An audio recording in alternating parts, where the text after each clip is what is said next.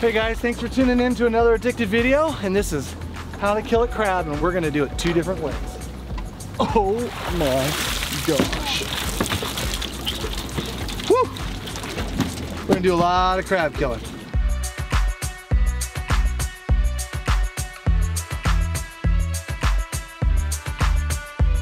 All right guys, got a plentiful bounty here.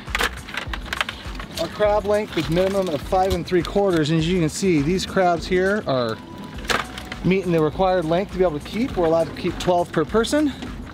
So man, when we are catching them real good like this, you know, we got to find real quick and ways to take care of them, you know, so we can share them with our friends and family, cook them ourselves and eat them. So we're gonna do a big crab feed tonight, but we gotta get all the prep work done for it. So all these guys are gonna be going back with us to get cut in half or boiled alive.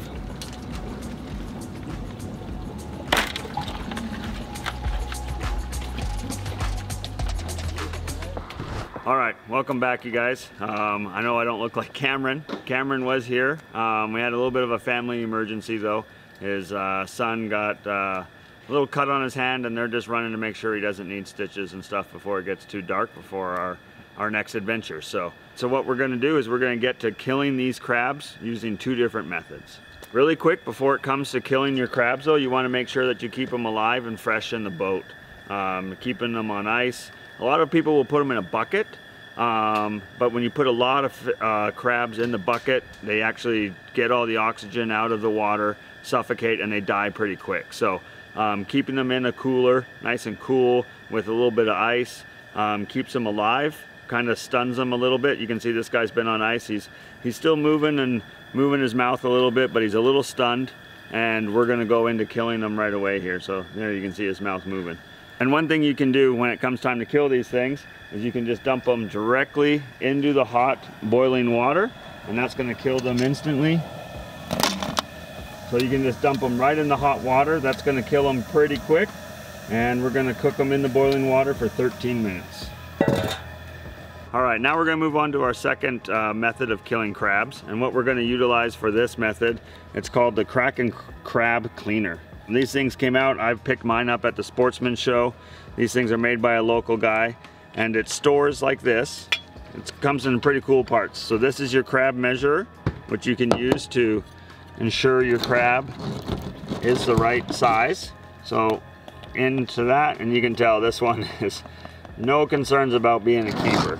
So this thing's pretty neat. It stores like that, it's got your measure, and then you stick it into this plastic cutting board material and now it's ready to crack your crab.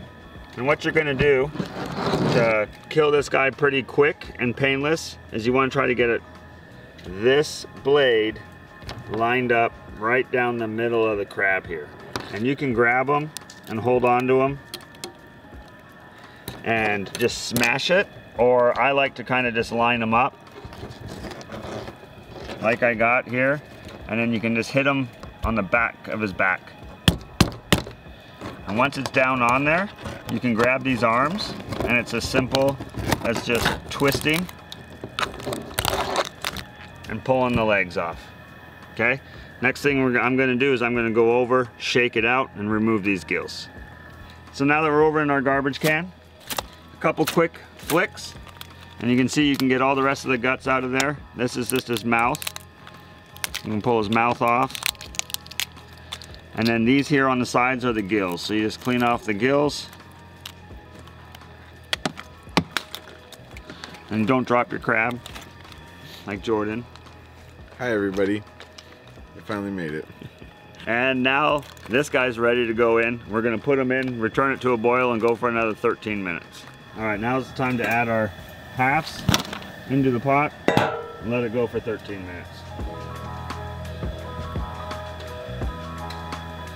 All right, timer's going off. That's been our 13 minutes. You guys, now it's time to pull these things out. So let's get them out of the water. You can't even really see. All right, there's one of our perfectly done halves, you guys. And our whole.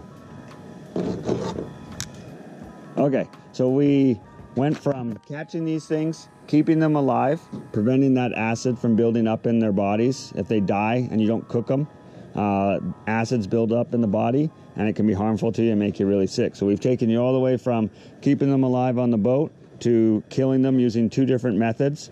We just got done pulling them out after 13 minutes of steaming, and now we want to try to chill these things down before we eat them. We're going to take them over to the Kong cooler and put them on some ice. All right, and here we're just going to layer them in there with our other crab, and I'll throw some ice on top of them.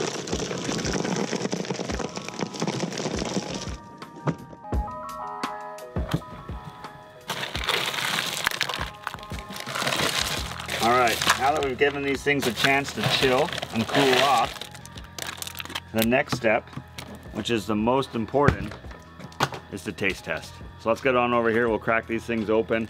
We got our buddy Jordan over here. He can be our judge as well and see how these things turned out.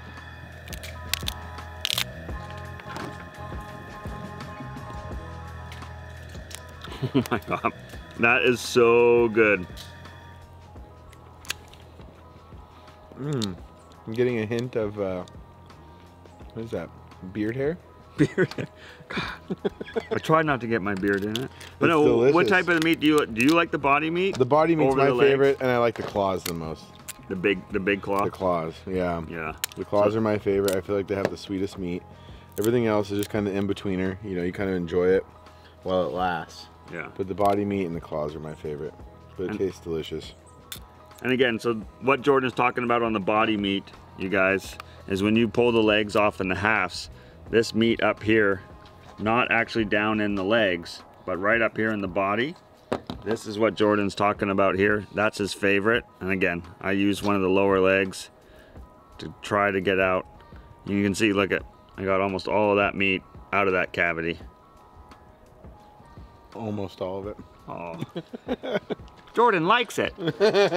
so one of the things I like to also use is pull the bottom claw off. Hmm. Strip that off.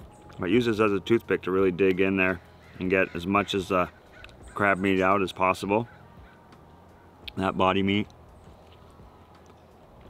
Oh, nothing beats fresh Dungeness crab, you guys. So, if you live in the local Pacific Northwest area, get out there, go crabbing. You can do it from a boat, you can do it with a guide, you can do it from the bank, you can do it from piers, but you got to get out there, catch yourself some Dungeness crab, cook them up, kill them the way we showed you, and uh, enjoy the bounty that the Great Pacific Northwest has to offer us. All right, I'm gonna sit here, finish off the rest of this delicious crab. Uh, hope you guys enjoyed this video. If you did, give us a thumbs up, make sure to subscribe, comment below, and share this with your family and friends. And until next time, we'll see you on the river.